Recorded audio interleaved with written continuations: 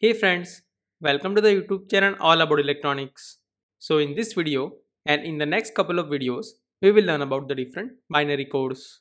So first, let us understand what is binary code. So this binary code is a way of representing number letters or characters using the group of ones and zeros. Now there are different ways this number or letters can be encoded in the group of ones and zeros. So over the years, different binary codes have been evolved. But we will see some of the important binary codes which are commonly used nowadays. So mainly, the binary codes are classified into the two categories that is a numeric binary codes and the alphanumeric binary codes. So the binary codes which are used to represent the numeric information or the numbers in the sequence of ones and zeros are called the numeric codes, while the alphanumeric codes represents the alphanumeric information like the letters, numbers and the characters. So this ASCII is one of the popular alphanumeric code and it is primarily used for transmitting the data between the computers and the IO devices such as the printer and the keyboard. Now if we talk about the numeric codes, then there are various types of numeric codes like a BCD8421 code, a gray code and the XS3 code. So in the next couple of videos, we will learn about all these binary codes in detail. But first, let us briefly talk about this BCD code. So this BCD stands for binary coded decimal. And in BCD code, each decimal digit is encoded into the group of 4 binary digits. Now there are various types of BCD codes like uh, 8421, 2421, 5421, etc. But the most common one is the 8421 BCD code. So in this 8421 BCD code, this is how each decimal digit is encoded. Well, how each digit is encoded and what is the meaning of this 8421 will get clear to you very shortly. But this 8421 is the weighted code. So in general, these numeric codes can be classified as either a weighted code or the non-weighted code. So this BCD 8421, 2421 and the 5421 are the few examples of the weighted code. So the weighted codes are the one which obeys the positional weighting principle, meaning that in these weighted codes, each position in the number has some specific weight. For example, in this 8421 BCD code, starting from the MSB, the weight of each bit is 8, 4, 2 and the 1 respectively. And the summation of all these weights represents the equivalent decimal number. For example, if we take the BCD code 0111, then there is a 1 in the position of this 4, 2 and the 1. That means all these 1s will get multiplied by the corresponding weights.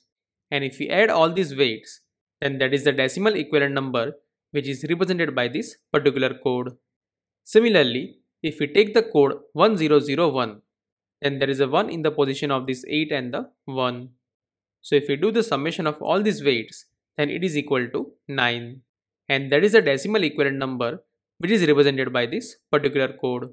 So basically, this 8, 4, 2 and the 1 represents the weight of each position. And this is how these 0 to 9 are represented in this 8421 code. So similarly, these 5421 is another weighted code where these 5, 4, 2 and 1 represents the weight of each position.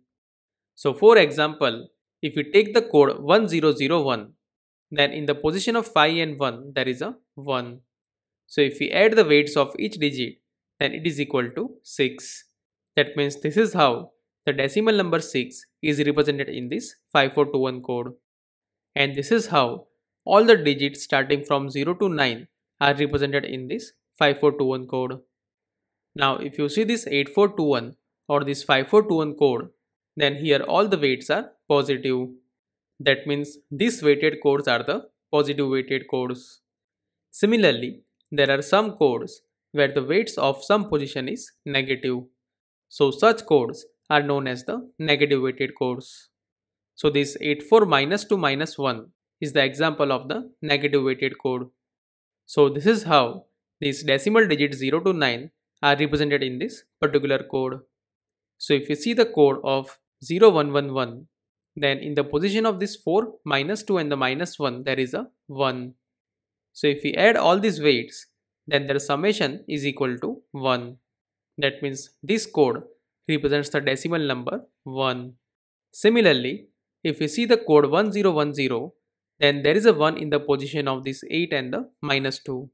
So if we do the summation, then the summation is equal to 6. That means this is how this decimal digit 6 is represented in this particular code. So this 84 minus 2 minus 1 is one of the negative weighted codes. So in short, these numeric binary codes could be a weighted code or the non-weighted code. And further, this weighted code could be a positive weighted code or the negative weighted code. And these are the few examples of the weighted code. Now those codes who does not obey the position weighting principle are called the non-weighted codes. And this XS3 and the gray code are the example of this non-weighted code. Then there are some binary codes which are the sequential code. So in this sequential code, if you see any binary code, then it is one binary number greater than the previous code. That means in this sequential code, whenever we add 1 to this particular code, then we will get the next code. And the same is applicable to all other codes. That means this 8421 is one of the sequential code. Similarly, this XS3 code is also example of the sequential code. So if we just add binary number 3 to this BCD code, then we will get the equivalent XS3 code. And if you see this XS3 code, then it is also sequential code. Because in this code also, just by adding a 1 to the particular code, we will get the next code. That means this 8421 BCD code and the XS3 code are the example of these sequential codes. Then there are some binary codes which are the cyclic codes. So in a cyclic code, a successive code differs from each other by only one bit position. For example, if you see this gray code, then the successive code differs by only one bit position. For example, if you take this decimal number 3 and 4, then they are differing by a one bit position over here. Likewise, if you see the code of number 9 and 10, then they are also differing by one bit over here. So this gray code is the example of the cyclic code. Then the next type of binary code is the self-complementing code. So first of all, let us understand what is this self-complementing code. So if we consider the decimal digits, then for any decimal digit n, its 9th complement is equal to 9 minus n, right? So for example, for the decimal number 1, its 9th complement is equal to 8. Likewise, for the decimal number 6, its 9th complement is equal to 3. So in this self-complementing code, if we have a code for some decimal digit n, then in that code, just by replacing the ones by zeros and the zeros by 1, we will get the equivalent 9th complement of that particular number. So this XS3 code is the example of the self-complementing code. So we know that the 9th complement of the number 0 is equal to 9. So if you see over here, then just by replacing the zeros by 1 and the ones by zeros, we will get the code of 9. Likewise, the 9th complement of the decimal digit 3 is equal to 6. So in the code of 3, if we just replace the ones by zeros and the zeros by 1, then we will get the equivalent code for the decimal digit 6. So this XS3 is the example of this self-complementing code. Then this 84 minus 2 minus 1 is another example of this self-complementing code. And these are the few examples of this self-complementing code. Now if we talk about the classification of these binary codes, then some binary codes have the capability of error detection as well as the correction. So let's take the example of this 8421 BCD code. Now whenever this code is used in the digital communication, then during the transmission and the processing, it is susceptible to the external noise. So because of the noise, it is quite possible that the 0 in the code can get replaced by 1 and likewise the 1 can get replaced by the 0. And if such thing happens, then the error will occur during the detection. For example, while transmitting this code 0100, if due to the noise, this last 0 gets replaced to the 1, then at the receiver, it will be received as 5 and hence the error will occur during the reception of this particular code. So to detect such error, these error detecting codes are used. So just by adding the parity bit along with this usual code, it is possible to detect the error.